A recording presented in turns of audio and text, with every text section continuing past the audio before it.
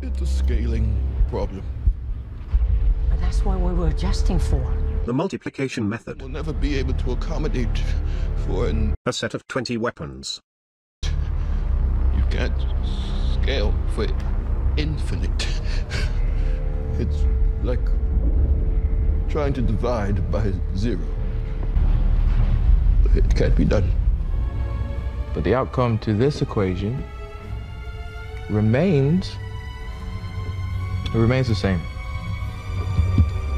You lose. You were wrong. I know. No. I'll find another way. I'll change the equation. I can use simulations, and the chi-squared goodness of fit test. Hello. So, admittedly, I screwed up. Multiplying the binomial distributions together is not the right way. Because they are from the same total set of trials, therefore the sets aren't independent from each other, even if the individual rolls of the guns are. However, I'm not here just to say that I'm wrong. I've come to propose slash present several more methods in assessing someone's luck. Disappointingly, there is still a lot of pinches of salt that you need to take, and the best method is to create simulations and see how often a game of that luck pops up. But I want to show my findings anyway on this statistical method. Before I get into the statistical method, I just want to say that there is a lot of information which I gathered from my simulations, especially concerning the patterns and phenomena with the box that have become evident by the amount of messing around and playing around that I've done. And also, I've realized that perhaps a Word document might be easier for people to process than a video of me just rambling on. So I have made this uh, informal research thing. Please check it out as it is very helpful on its own, as well as some prerequisite knowledge uh, is included in this, which is needed um, for understanding the following method, as it is a bit inadequate on its own but I will reference that uh, in the video. So make sure you've read through this, at least skimmed through it, and then whenever I reference something in the video, come back and reread this. So yeah, back to past days it. The method I'm on about is the chi-squared goodness of fit test, which can be used to infer similar things from the binomial method. However, we can combine the distributions unlike the multiplication I did last time. So this chi-square test is actually a measure of deviance from the expected value. Both unlucky and lucky games will show up on the measure. So the way a chi-squared goodness of fit test works is that we declare a null hypothesis and an alternative hypothesis. Which means that if the data fits within the null hypothesis, it's not suspicious, but if it doesn't, it is statistically significant and therefore suspicious. In order to make this as an objective measure as possible, we first need to a standardized set of guns for every map. For Ascension, I'll be using the example of the T-gun, Gersch, and Dolls. For Call of the Dead, you might use something else, but it should still work nonetheless. So, the null hypothesis for the mystery box is that the chosen guns will always follow a binomial distribution with the probability of each gun being 120, which is that uh, bell curve that we've seen previously. And the alternative hypothesis would be that the sampling of the guns either doesn't follow the binomial distribution or doesn't follow a 1 in 20 probability for the chosen guns. In our case, we'll mainly be checking if the probability of the chosen guns is significantly deviant from 1 in 20 or 0.05. So to dive into the chi-squared uh, distribution, I've made a little script which creates a plot for us. So here we have a graph of probability density on the y-axis and chi-squared value on the x-axis. The blue line represents the curve that a chi-squared distribution with 2 degrees of freedom follows, so this blue line here. And just like the bell curves from the last video, area under the blue line represents uh, probability. So the larger the area that you've highlighted or selected, the more likely that thing is to happen. The dotted lines slicing up this curve represents two different chi-squared values, one being a critical value and the other one being a value that's produced from the calculation. I'll uh, explain what that means in a second. But this red one is the critical value, the null hypothesis p-value, and the green line is the goodness of fit value that we get from our data. A critical value is a value that has to be chosen this represents the cutoff point at which we choose uh, that something is going against the null hypothesis. So on this graph, that basically means that anything to the right of this red line breaks the null hypothesis and should be considered a suspicious game. Anything to the left, like this one here, doesn't break the uh, null hypothesis and is not suspicious. And there's a little bit of green area here symbolizing that.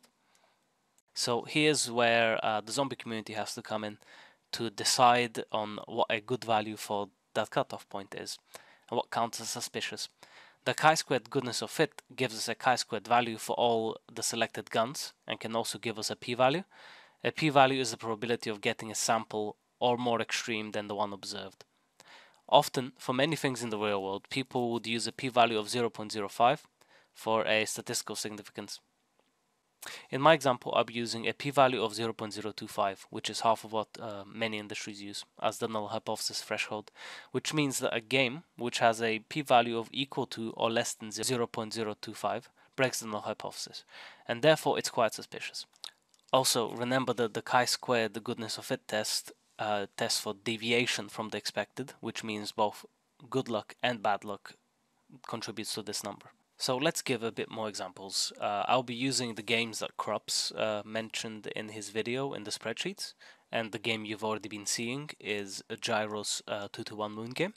However, if I change that to Furret 244 game and run it again, we'll find that the green value is way beyond the red value, way beyond the null hypothesis. So to have a game approach the red line from the left to the right, it's already pretty lucky, but to have it this far out is very lucky. Uh, there's a bunch of information about the game being printed down here, which I'll go into in a bit. So let's look at another one. Let's look at Slayer's game. Slayer's 210 Moon game. It seems that he was not uh, he was not very lucky. or I think he was actually in fact unlucky, which is why it even strays from zero. But as you can see, it's very far to the left. This game is very likely to happen, and it's very far away from the critical value. Okay, let's look at another one. Let's look at Furret's uh, Moon 218 game. Hmm, okay. It's not that bad. It's it's quite plausible actually. It's not that lucky.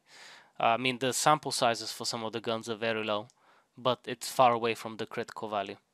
Okay, I think I have one more game to look at, and let's look at ZF, ZRFM's Moon game.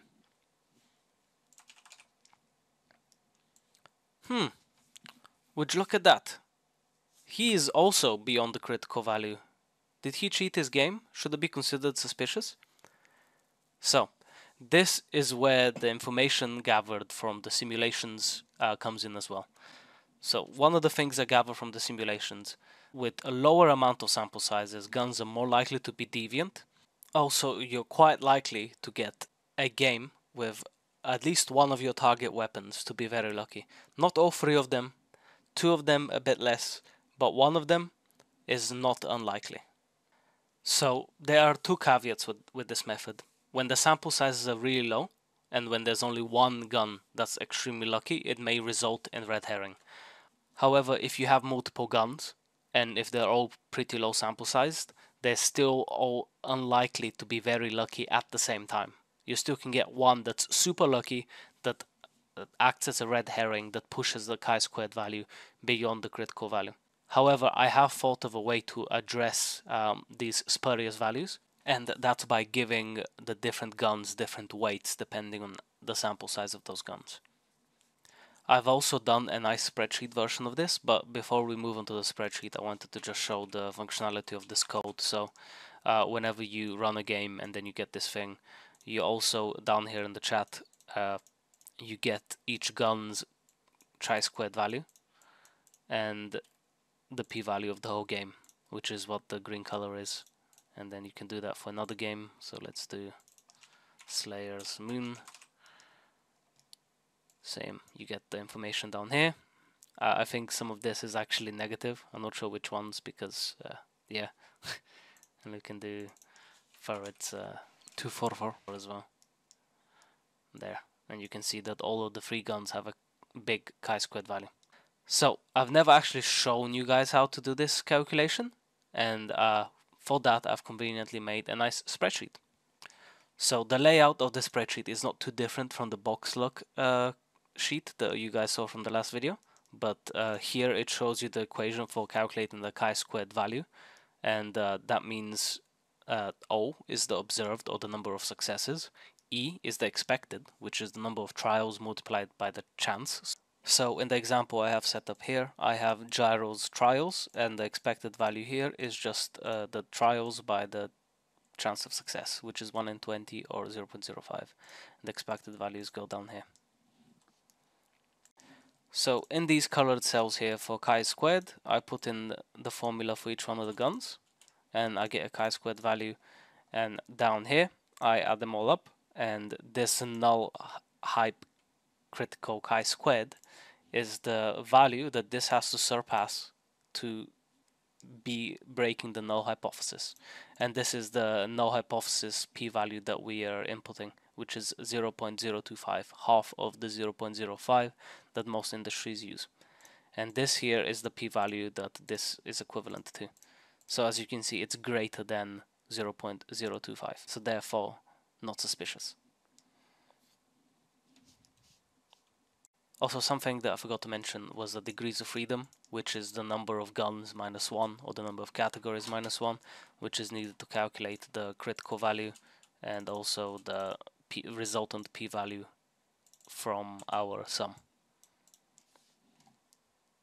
Interestingly enough, remember as I said, you're likely to get at least one of your target guns uh, to be quite lucky, and you see this one is quite far ahead even though when combined it does not break the null hypothesis, despite it being quite lucky as a gun individually.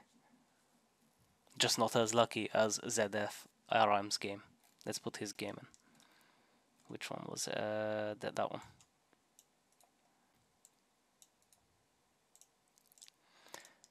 And this is ZF uh, RM's game. He's got one gun that's uh, luckier than all the others and it just about pushes it over the critical value. Also remember that when it's one gun it's not condemning evidence and also it's a very relatively low sample size which is even more non-condemning evidence if that makes sense.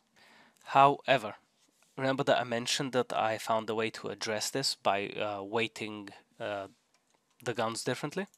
So down here there's an enable weights question and if you set this to 1 the there will be a few new fields added in so there'll be a weight field for each gun here which will uh, attribute a lower weight to the gun if the number of trials is much less than the maximum in the set of guns that you've added. So for this one, gun number 3, the 748 trials, it has a weight of 1. The sus gun the one that had 7.3 which has 400 hits only is got a 0.6 weighting and this gun has even less weighting because it's actually 230 so when you add these up it does not pass the critical value. So this is kind of a way to counteract the, the varying sample sizes of the guns. So let's see what this looks like for the other game. So let's put in Gyro's game. What's Gyro's game gonna look like? Oh the, the sus gun has become even less sus because it wasn't the most populated, the most trialed gun out of all of them. So game becomes even less sus. Let's see Slayer's game. This will be interesting. So with Slayer's game, all of his guns are already uh, quite low in the tree squared value, so that doesn't really change it that much. So let's uh, do Furret's to 18 moon game, which isn't that bad. Also not that deviant. It, it just barely reaches one on each gun, so it's quite acceptable. And then let's look at the infamous 244 game. Boom. Interesting. The 244 game is sus even after the weight normalization. So it seems that the Gershes, because they're pretty low sample size compared to the T-gun, uh, they've lowered in weight dramatically. They're a third, less than a third of what it used to be. So that's like gone to a lower number. And these guns remain pretty high and enough to pass the critical value. So even after weighing the values Furret's 244 game, still passes the critical value of uh, with a null hypothesis of 0.025. And keep in mind that this is free guns that are deviant. Uh, I know that this one's quite low after weight normalization, but it's still deviant before. So I, I think whenever we're judging a game for being lucky, we need to make sure that it's more than one gun being deviant, and they are very deviant. Like in this case, they they're past they're enough to surpass the critical value. It's not like just one chi squared. It's five and five or five and three if you wait it, five and four. So yeah. If the case is only just one gun, then that's easy because we can measure how lucky a gun is with one binomial distribution and we don't need to do this combination. So for those people that don't want the dolls, they don't think the dole should be considered a gun. So if you just uh, get rid of the third gun, everything adjusts correctly. Critical value drops down because now it's two guns instead of one, and it's still both before and after being weighted. His game passes the critical value for susness, and it's been lowered to 0.025. So yeah. So just to conclude and to uh, recap all this stuff, if you have only one gun, preferably use the binomial distribution. If you have more than one gun, use the chi-squared, or even better, the simulators. But also to give a recap of the chi-squared caveats, having one gun lucky is not unlikely. However, an increase of deviance from the norm becomes less and less likely, so the further away uh, the gun is from the expected value, the more rare it is. Having multiple target guns lucky scales with rarity with each gun added and distance from the expected value for each gun. Many of these reasons I discuss in the simulations document, so make sure you look at that. Another one is that the chi-squared goodness of fit test does not account for the higher chance of luck in lower sample sized weapons versus higher sample sized weapons weighing the weapons can reduce the weight of the lower sample size ones compared to the most sample sized ones. Though this is normally done with the chi-squared statistics and is also vastly ineffective if all the sample sizes were low. We probably need to put in a minimum for uh, minimal sample size for a weapon, but that is dependent on the community. So, to conclude, I hope that this video has done a decent job at explaining the chi-squared method. Though I do see some drawbacks of this method which I've mentioned throughout the video. So if you have any suggestions for alterations or other methods, please tell me in the comments. I am all ears. and currently I believe that the simulators are the closest to comparing odds properly. I strongly suggest reading through that document and also set up the simulations repo yourself and have a play around with them. Perhaps maybe you find something which I failed to mention with the simulators. Also do say that in chat, uh, in the comments. I'll continue updating the document with anything new that I learn. So, no matter how much, We try to find an analytical method it will never be enough. enough. to account for all edge cases. Simulations will always remain the best way. It's almost as if, as soon as People started cheating. this was doomed to happen,